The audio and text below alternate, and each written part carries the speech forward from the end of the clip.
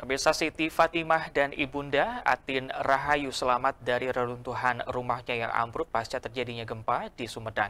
Ibu dan anak ini sempat tertimpa reruntuhan atap rumah. Beruntung, keduanya berhasil diselamatkan warga dan hanya menderita luka-luka. Seperti inilah kondisi rumah tinggal keluarga Apep Winarya di Kelurahan Cipamengpe, Kecamatan Sumedang Selatan, Kabupaten Sumedang, Provinsi Jawa Barat. Rumah Apep hancur hampir rata dengan tanah akibat gempa berkekuatan magnitudo 4,8 yang terjadi pada Minggu petang 31 Desember 2023. Menurut Siti, anak Apep, saat kejadian dirinya sedang bermain telepon genggam di ruang tengah dan tiba-tiba terasa ada guncangan dan langsung berdiri. Namun belum sempat berlari, sudah tertimpa reruntuhan atap rumah dan terjepit.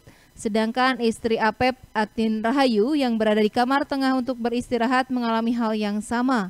Mereka berdua tidak sempat berlari, akhirnya tertimpa reruntuhan dari atap rumah yang ambruk.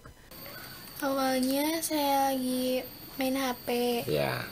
Lalu ada goyangan, getaran. Lalu saya berdiri. Ya. Belum sempat apa-apa sudah rubuh.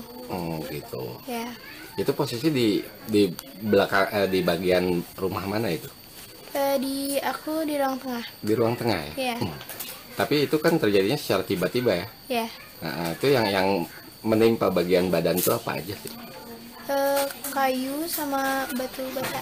Hmm, Itu berarti dari dari ini ya atap rumah ya? Iya. Nah, Dibawa ke rumah sakit. ke rumah sakit langsung. Iya, langsung. kamu nanti eh, ke ruang ke Pak RW gitu Iya. Mhm.